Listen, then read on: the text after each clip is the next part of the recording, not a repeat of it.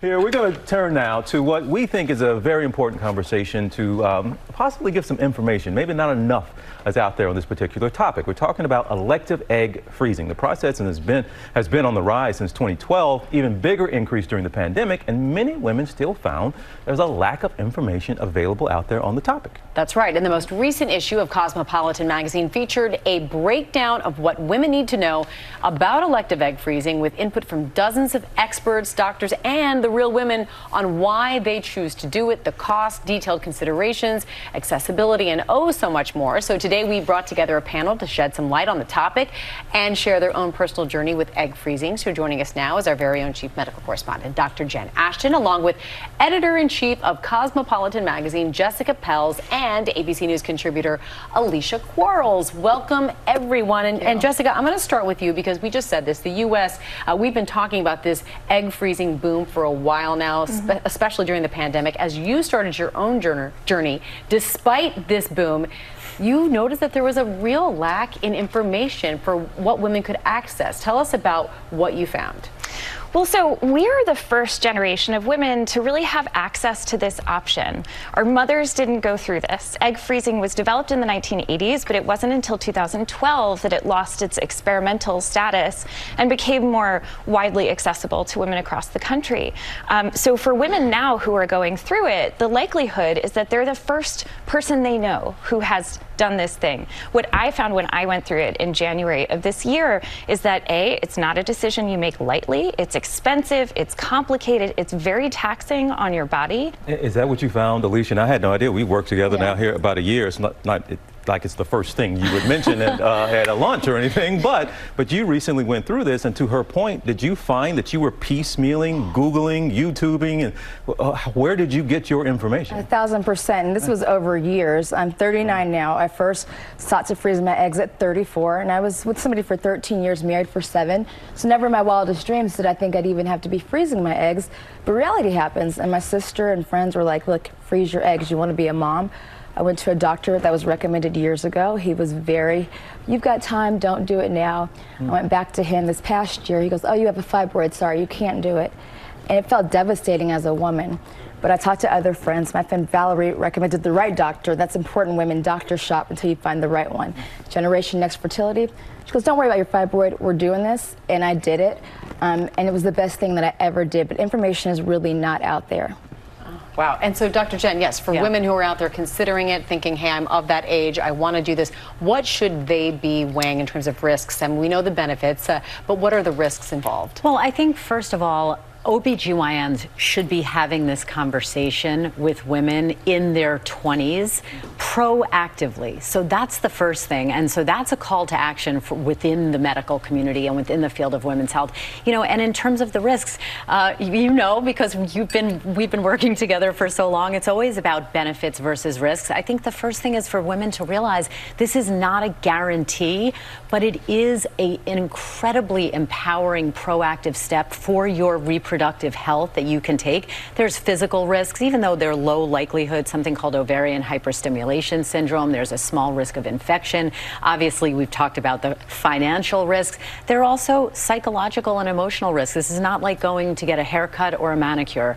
Um, it can be a big deal, or it can be a process that's over in a period of two months, but you always have to balance the risks. But is that kind of what you did? It, it sounds like you were such a student, uh, and now you're trying to pass along what you learned and put it in one place. But still, what, what I guess surprised you that you really want to convey? It seemed like so many factors, but still, is there something that stands out to you for a woman that's listening now that, hey, you need to hear this part that maybe surprised you?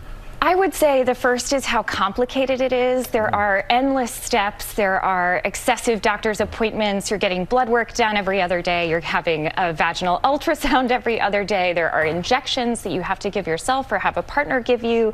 There is a surgical procedure at the end of the process that you, they put you under for.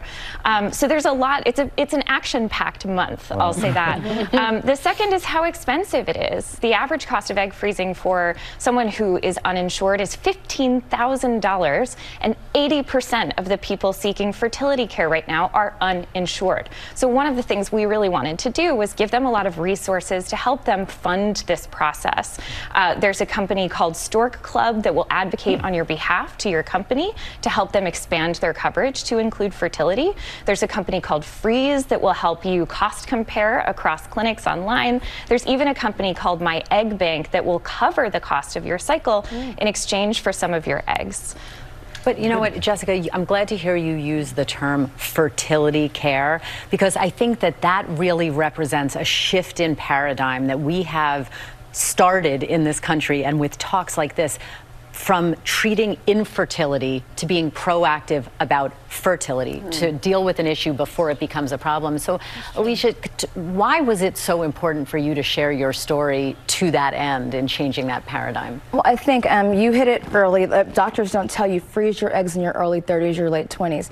TJ, to your point, we've all worked together for a year, and you all didn't really know I was going through the process because I was sharing it on social media, and I stopped because I got so much pushback from people being like, you're overly sharing. You know, why are you doing this? Some people mm. were very religious and they thought that it was anti-religion that I was doing this. My own mother, who I love and adore, she couldn't believe I was going to talk about this today because it's so intimate. Mm. But that's the point. We have to talk about it. Mm-hmm. Knowledge is power. So I want women to know it's not scary. Ask questions of your doctor. It does cost a lot of money, even if you're insured, but it is so worth it. It's alleviated that stress of me trying to find Mr. Right for now. Well, I'm feeling a little better. I can see the emotion yeah. in your face, and this yeah. is, you know, such a personal decision for everyone, and it shouldn't be yeah. about what other people think. But I'm curious, Dr. Jen, and I'm going to ask this of all of you, for women who are watching at home who are wondering, you know, what's the good age? What's the wrong age? Like, wh- where and when and how do you start? Should you start? Well, I think anywhere from 25 to 35. There's no one right age. My own daughter, who's almost 22, plans to do this in her mid 20s, and I've totally supported her in that. You know, again, you don't want to have that stress medically, biologically, or physically to say, "Oh my gosh, I'm running out of time." So taking care of it before it becomes a problem. That that's the you know the way to do things in overall health. Jessica. I wish I had done this earlier. I am 34, about to be 35. And uh, when I found out that uh, you can test your AMH level, anti-Müllerian hormone is an indicator of your egg reserve, you can test that level at any time. I was absolutely shocked. I thought that getting insight into my fertility was some difficult, shrouded thing. But the truth is, it's there if we just ask for it. Uh, and so I certainly wish that I had started and thought to ask that question earlier. Alicia? And then I think also just talk to your friends. Those fertility drugs, each drug that I would order is $1,000. And my doctors were great, don't order them all at once. But then suddenly, if you run out, you have to have them. But it was my trigger day. It was my time to, you know, retrieve my eggs. And now I'm stuck with thousands of dollars of uh, medicine that I hopefully won't use again in my refrigerator. I want to help another woman out and figure out what to do with that. But it's just mm. things they don't wow. tell you. Wow. Wow. So great. Um, ladies, thank you. Uh, look, this is an incredibly, I've never sat and had a conversation like this. Certainly haven't seen a lot on TV uh, like this. But you all are sharing your personal journeys and to destigmatize what we're talking about here. Um, so thank you. Good to have you here in studio. Alicia, we'll see you yes. very, very soon. Dr. Jen, thank you as yep. well. An empowering conversation. Thank you for all of that. There, GMA fans. Robin Roberts here. Thanks for checking out our YouTube channel. Lots of great stuff here. So go on, click the subscribe button right over, right over here to get more of awesome videos and content from GMA every day, anytime. We thank you for watching, and we'll see you in the morning on GMA.